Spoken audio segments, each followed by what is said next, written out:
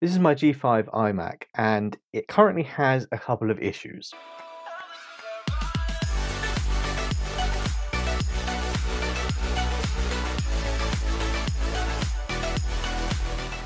In the video recently, we got uh, Debian Linux installed on this and it worked surprisingly well. There was a couple of issues, however, namely, it sounds like it's trying to take off.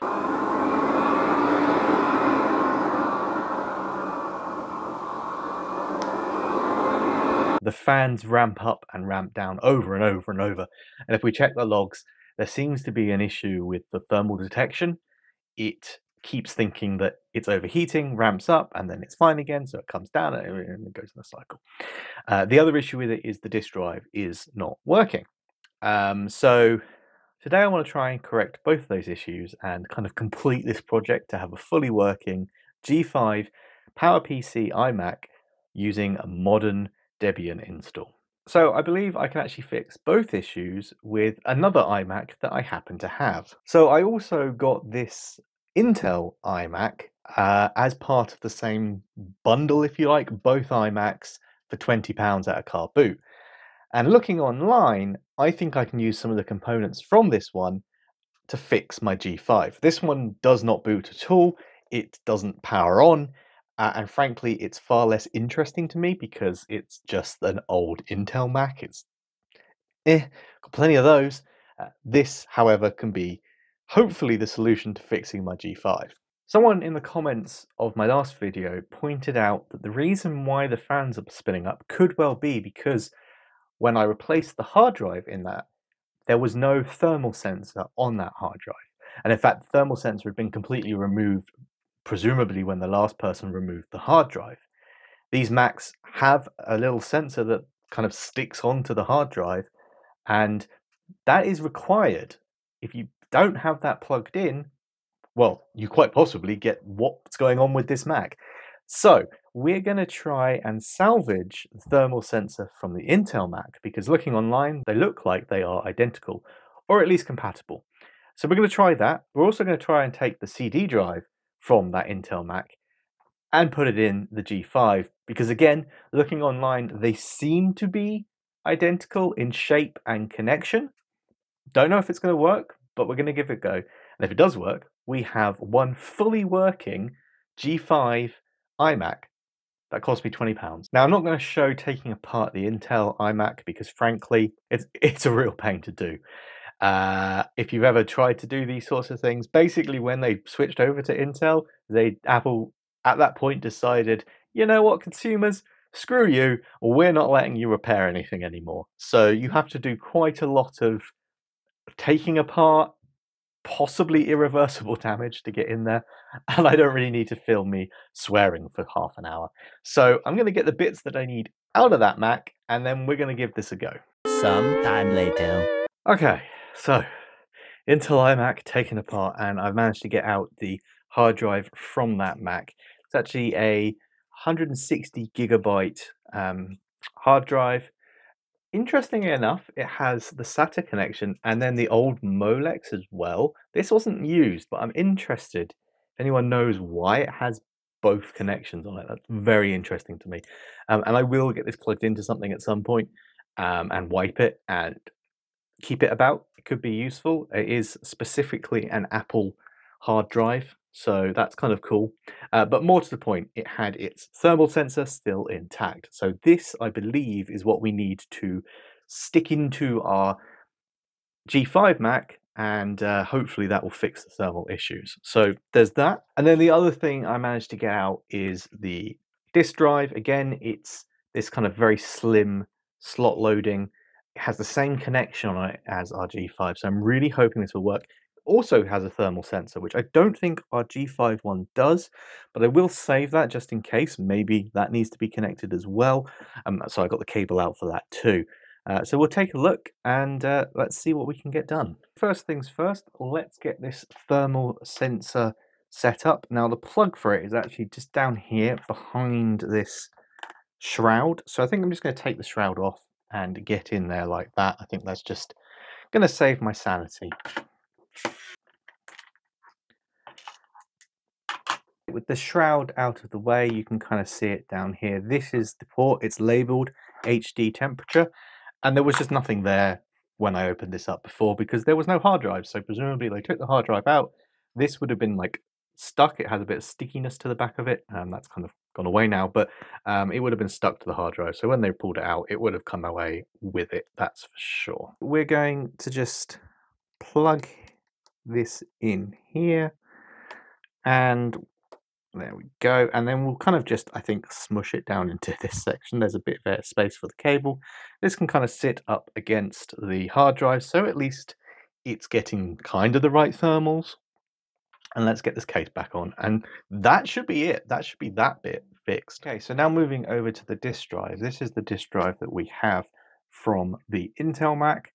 And uh, that's the model number there and everything else. The connection on the bottom and then the thermal sensor, which is just kind of stuck on, so I can get that off if needs be. Let's get this out now. Funnily enough, this is being held in literally just by one screw down here. It's got some missing screws. Someone was definitely in here before me, perhaps trying to fix it. That's very possible. But um, yeah, there is one screw holding this in place, which isn't great. I might try and get hold of some extra screws to kind of fix that. But then with that screw out, the whole thing literally just lifts up and out.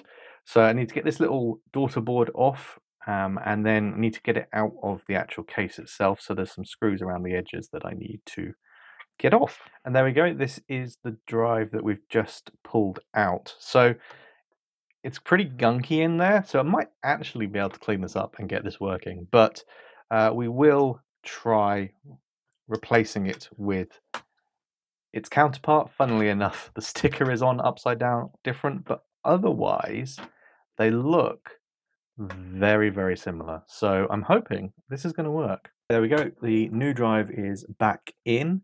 It all fits. So let's power it up and see what happens. Okay, so we've got one win so far at least.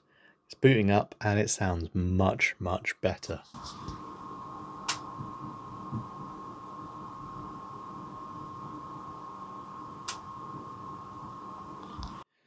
hopefully you can hear, or rather not hear that, that yes, the thermal issue has been solved. So massive thank you to that commenter on the last video who solved the issue for me.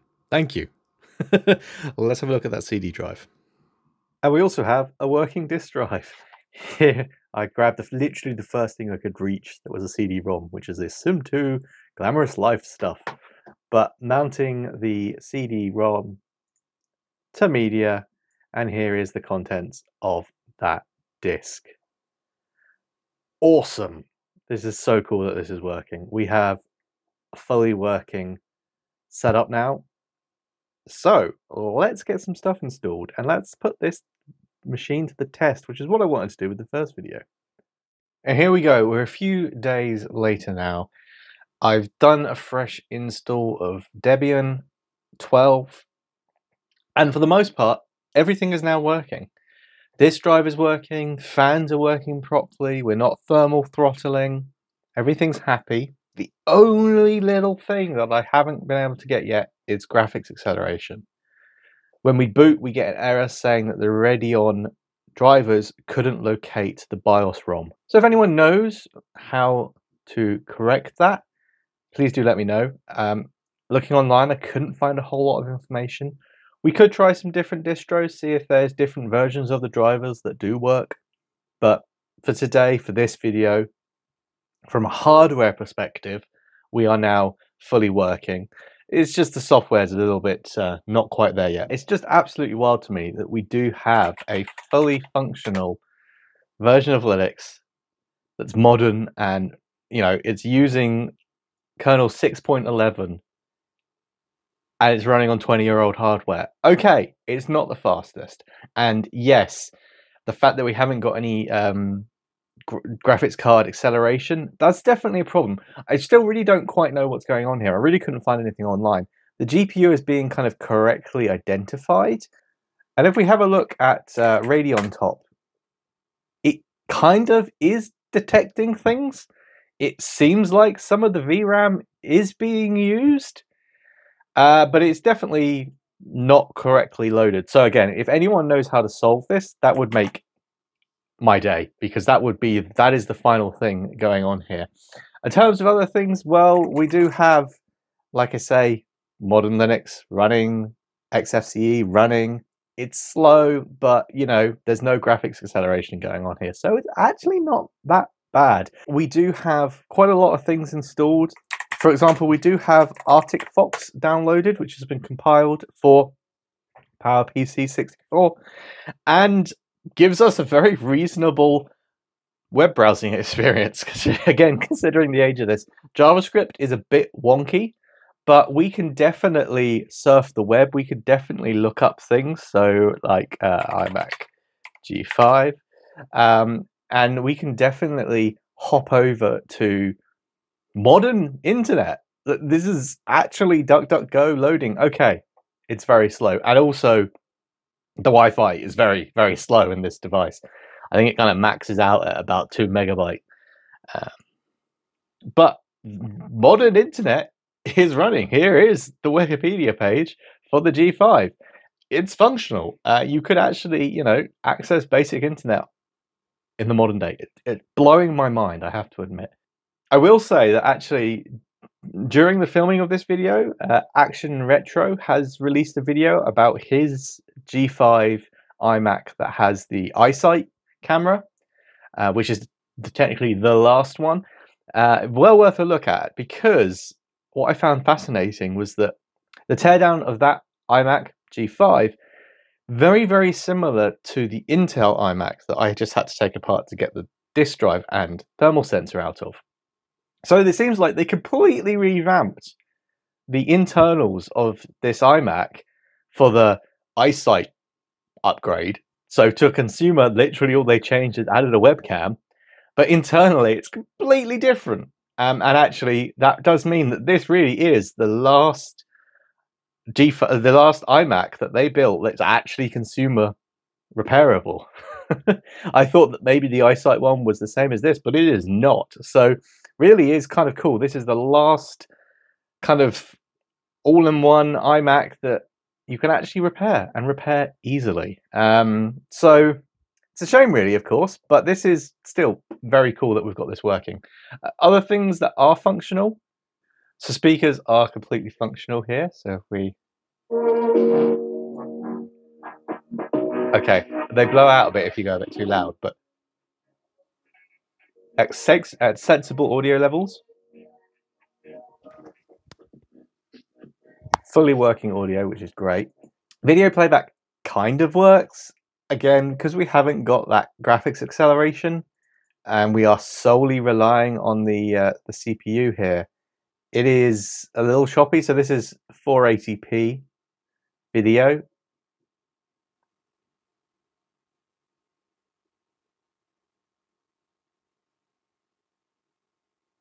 I mean, it works.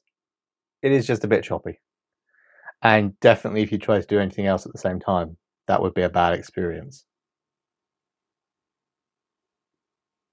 But I mean, it's functional. It's definitely functional, which is cool. Again, considering that is without graphics acceleration. Uh, yeah, I'm impressed by that. So yeah, there we have it. We have modern Linux running relatively well. Certainly, if you didn't actually want to use a graphics environment and you did just need the command line, this is perfect. You don't need the graphics card. Uh, I will maybe continue to try and find out what's wrong with that graphics card.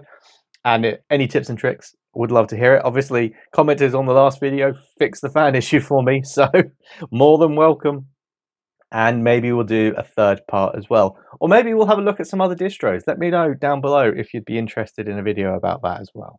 So there we have it. Uh, still not quite the outcome I was hoping for. I would really love to have graphics acceleration working. But we're getting there, piece by piece. And I think maybe I need to actually try installing macOS on this thing and actually check that there's no hardware issues with the graphics card or chip because we haven't actually run macOS on this Mac. I got it without a hard drive and went straight to Linux. So haven't really done a proper hardware test. Maybe I need to do that. I don't know. Comment down below if you have any tips, any tricks, or if you would like to see another video in this ongoing saga of me trying to get a fully functioning, perfect G5 iMac. We're nearly there though. But that is going to be it for today's video. So thank you very much for watching. I hope you have enjoyed it. If you have, please do make sure to hit that like button and subscribe. And check out my Discord as well. It's uh, brand new. Uh, I think maybe there's three people in there at the moment. So more the merrier. You're all welcome. And come and chat about old Macs. I would love to hear your stories. Thank you very much for watching. I'll see you again very soon. Bye for now.